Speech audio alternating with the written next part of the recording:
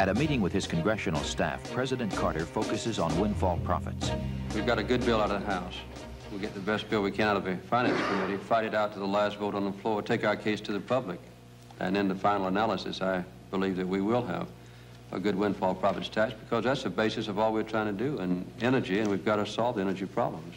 He's fighting hard for our energy security, and he's going to win. A solid man in a sensitive job.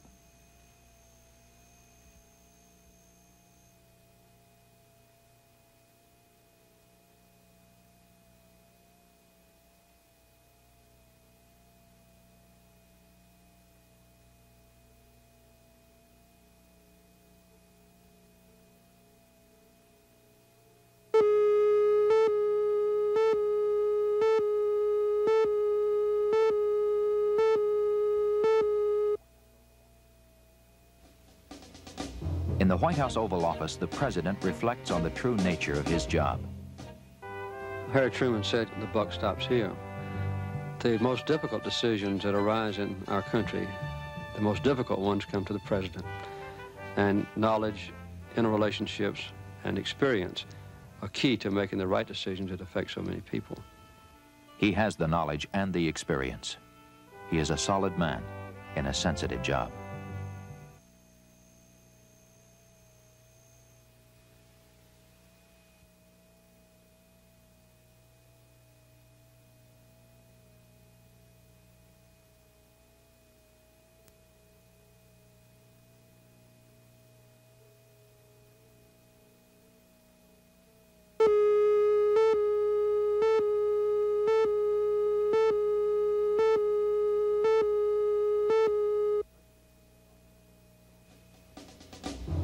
President Jimmy Carter has made a strong effort not to become isolated in the White House.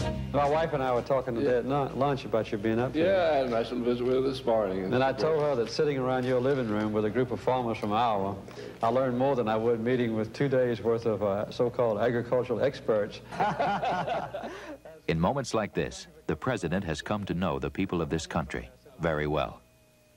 He's a solid man in a sensitive job.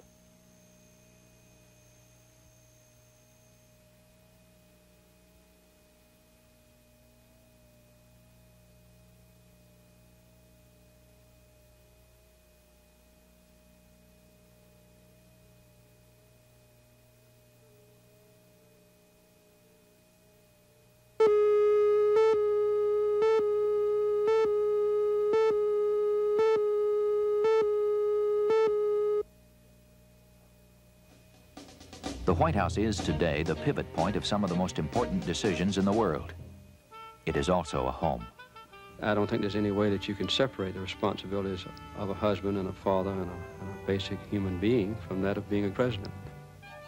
What I do in the White House is to maintain a good family life, which I consider to be crucial to being a good president. Husband, father, president. He's done these three jobs with distinction.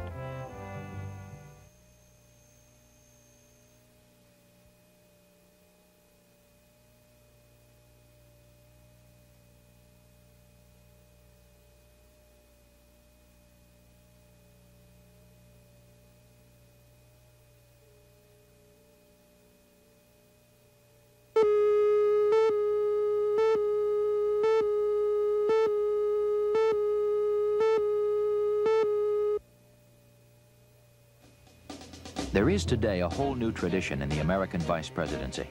There are 1.3 million more people at work today than the day you were sworn in, in that state alone.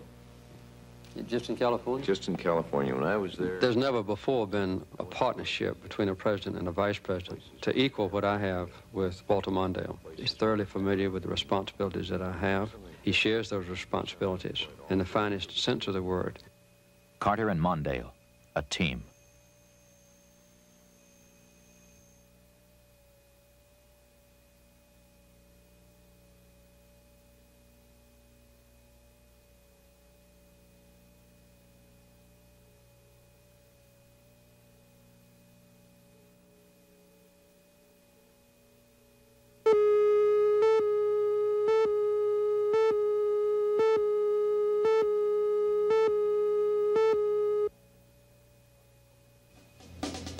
At a White House meeting, President Carter focuses on America's health.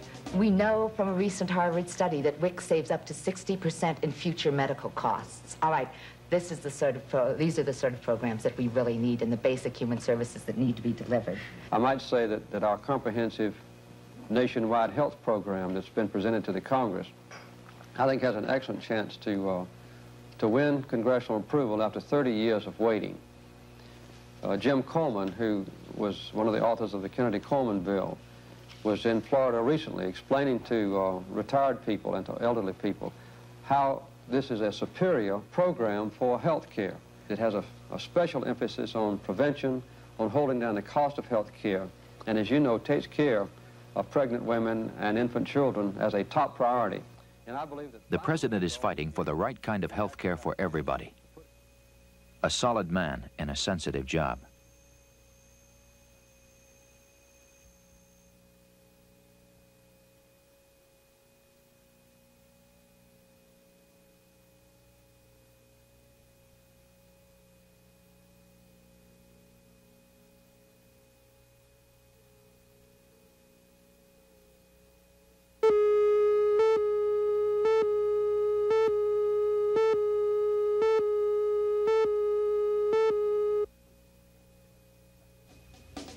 At a White House briefing, the president makes an emphatic point. My number one responsibility is to defend this country, to maintain its security. And I put the, a strong defense at the top of my priority list, and it's going to be maintained that way. Thank you. He has fought for a strong defense, for reform of the bureaucracy, for peace in the Middle East, and for our energy security. I hope you'll go home and help me now. The president. He's fighting for all of us.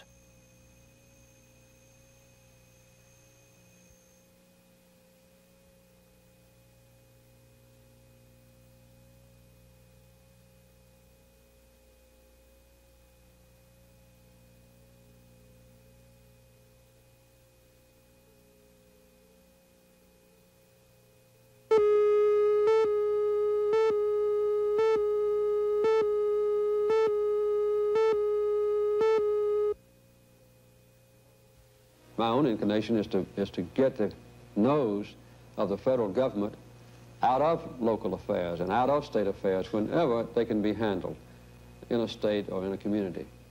He used to be a full-time farmer. He does a different kind of work today, but it's still work. Long hours of hard work. I'll make a decision on it today. His decisions reach out to touch the lives of millions. In the course of any day, he focuses on every vital issue facing the nation. Our comprehensive nationwide health program that's been presented to the Congress. For us to depart from those two basic documents is a serious mistake. My number one responsibility is to defend this country, to maintain its security. It's nothing at all like being alone in a Georgia field, driving a tractor for 10 hours in the hot sun. Yet no other candidate can match his work experience or his life experience. President Carter, a solid man in a sensitive job.